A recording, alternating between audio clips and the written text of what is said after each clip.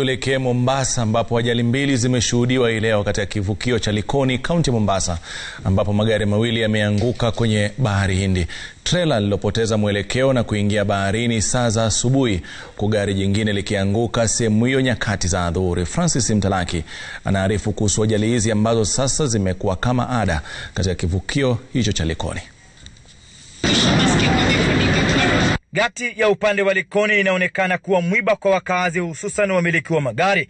Kwa siku moja ajali mbili zimeripotiwa, na chini ya siku tatu ajali tatu zimeripotiwa, zote zikihusisha magari kuteleza na kupoteza mwelekeo, huku kisa cha hivi punde ikisababisha mtu mmoja kunusurika kifo baada ya kugongwa na gari lililokuwa limepoteza mwelekeo. Kwa sababu ilikuwa inataka ingie ndani ya maji, lakini tukawania fasta, tukafunga kamba hiyo hapo, tukafunga na kwa ile posti pale. Sasa gari ikakwama, sasa haiwezi enda kwa maji tena.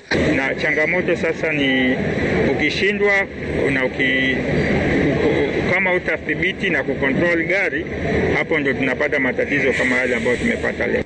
Ajali ya kwanza imehusisha trela ambalo lilipoteza mwelekeo na kuingia baharini kwenye kivuko hicho kilichokuwa na shughuli nyingi. Hizi ajali zinatokana na mitelezo wakati wa mvua, na pia hili gati ambalo limewekwa hapa haliko katika hali ya kistandadi ya kupitisha magari. Ajali ya pili ikihusisha gari la kampuni iliyokuwa imebeba abiria wanne, japo bahati ni kuwa gari hili liliponea kuingia baharini. Ni siku ya Jumapili ambapo gari la kitalii lilianguka baharini. Katika kivuko hiki, juhudi za haraka za wapiga mbizi na waokoaji zikinusuru maisha ya watu wawili, shirika la feri likilaumu hali ya utelezi katika kivuko hicho, ikijiondolea lawama la utepetevu. Magari makubwa kama haya yanavukishwa wakati maji yako juu kabisa, tide ikiwa very high.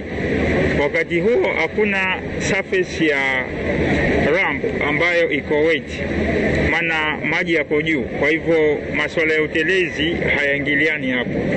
Utelezi utaingiliana tu labda wakati kumenyesha, na pia siku ya leo hatukuwa na mvua.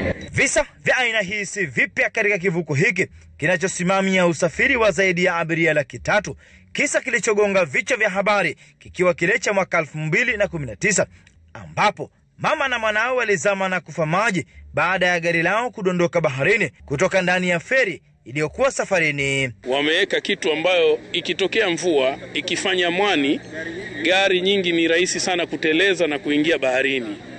Sasa hata hiyo basi juzi ilifanya kusave kwa sababu chini imeundwa kwa mfano kama boti. Licha ya ajali kutokea, taratibu za kuingia au kutoka kwenye feri inapotia nanga katika ng'ambo zote mbili inaonekana kuwa changamoto kubwa kwa wakaazi, wamiliki wa magari, huku maafisa wa Kenya Ferry wakishirikiana na wale wa Kenya Coast Guard wanaonekana kulifumbia macho taratibu. Mfano mzuri ni gari hili limezingirwa na wakaazi, kila mmoja akitaka kutoka kwenye feri, haraka ambayo ilisababisha gari hili kukwama kwa muda na kulazimu afisa mmoja wa polisi kuingilia kati.